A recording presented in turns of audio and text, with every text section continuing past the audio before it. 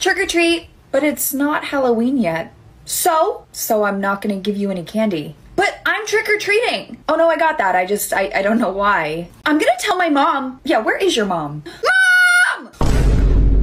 Baby, what's going on? This mean old hag won't give me any candy. What? Why? Why not? Don't you like her costume? She looks great, but I'm not just gonna give her things because she showed up at my door and looks cute. See?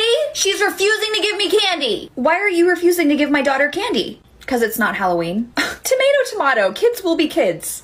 Those two sayings don't. Don't worry, baby. I'm sure there's something in that house that you can go get for my daughter, so go get it. Fine, let me see what I have. Finally, thank you.